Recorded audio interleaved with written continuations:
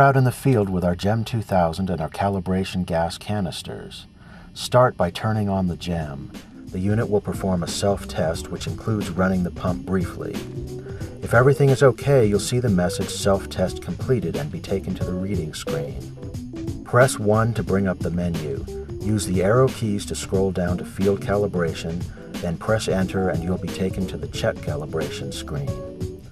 You have to tell the GEM what gas concentrations you're using. Do this by pressing 3 Edit Target Concentrations. You'll see question X point X under CH4, which means it wants you to enter the methane concentration.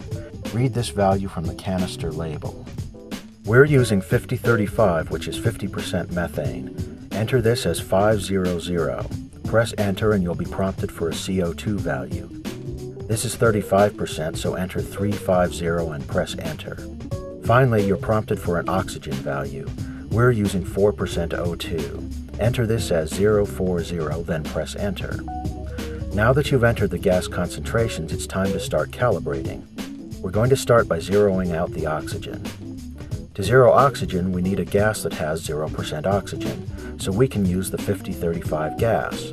Attach the canister to the inlet port, making sure it clicks. Open the valve to start the gas flow, then watch the readings.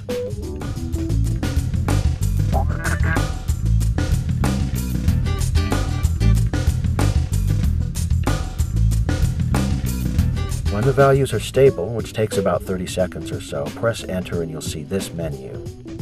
Zero channels is at the top of the menu, so just press enter. Scroll to Zero O2 on the submenu and press Enter. Close the valve on the canister, then disconnect the hose from the gem.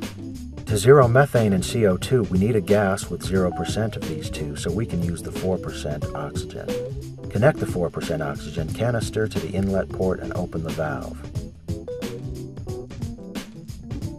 When the readings are stable, press Enter, then Enter again to select zero channels, then enter one more time to zero CH4. Close the valve and disconnect the gas.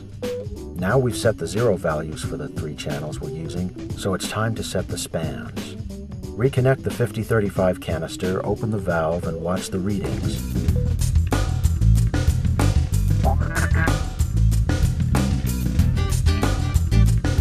Once they're stable, press Enter to bring up the menu.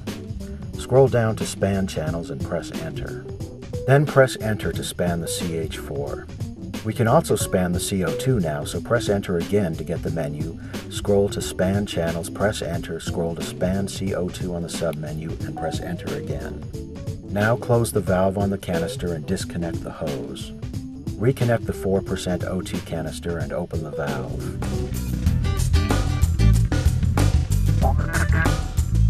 Wait for stable readings, then span the O2.